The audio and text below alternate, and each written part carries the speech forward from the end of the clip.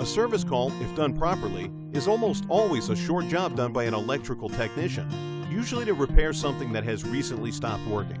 The Electric Connection is known for responding quickly to the service call needs of our customers.